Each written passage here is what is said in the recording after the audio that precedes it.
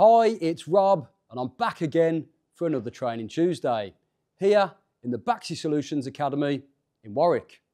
Today, I'd like to talk to you about the iFOS, which is the In Flue outdoor sensor. So let's take a look.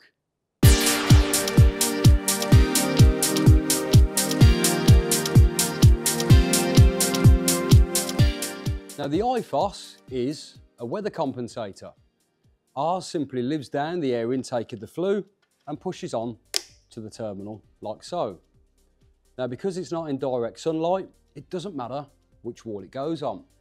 It's wired directly back to the boiler and as soon as you wire it in, it's got hold of the central heat and flow temperature going to your emitter circuit.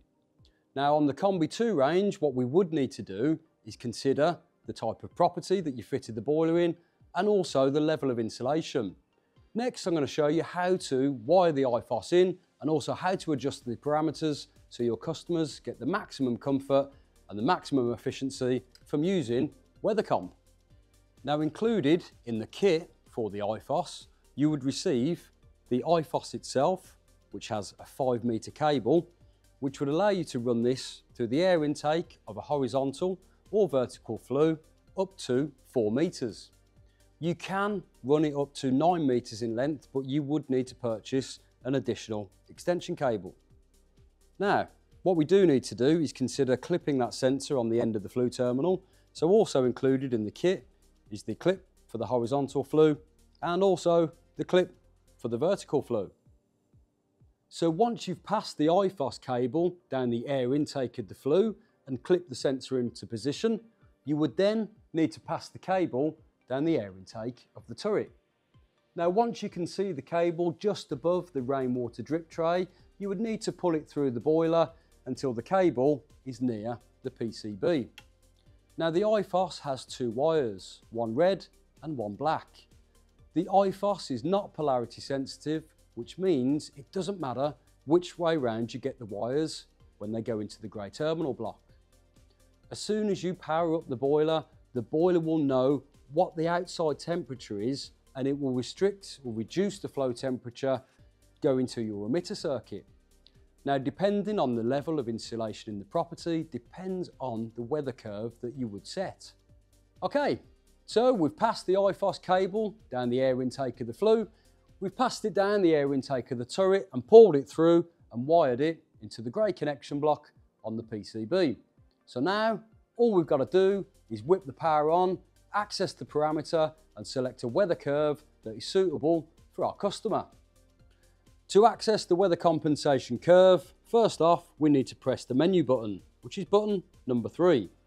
This will open up the toolbar menu and we need to select the installer menu, which is the middle icon, which is a picture of installer with the spanner.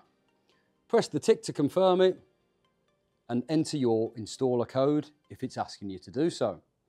Now the parameter for weather compensation is CP230.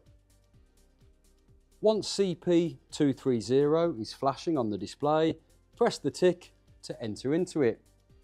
Now the default setting for CP230 is curve 1.5. Now, depending on the emitter circuit in the property, depends on which curve you're going to select. For a property that uses radiators to emit the heat, we recommend a setting for CP230 of curve number 3.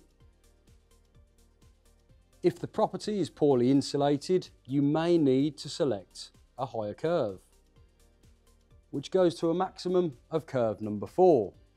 To select that curve, we would press the tick, so that locks it in place. We would need to press the back arrow once, twice, to bring us back home.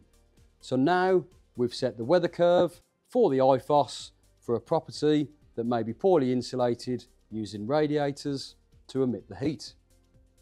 So now we've locked in weather curve number four for parameter CP230. This was just a brief overview of how to install the iFOS and how to set the curve on the Combi 2 range.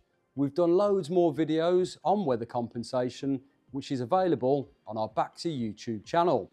I hope you found that video useful. For more information on the training courses that we offer, feel free to contact your friendly local area sales manager or head over to baxi.co.uk forward slash training.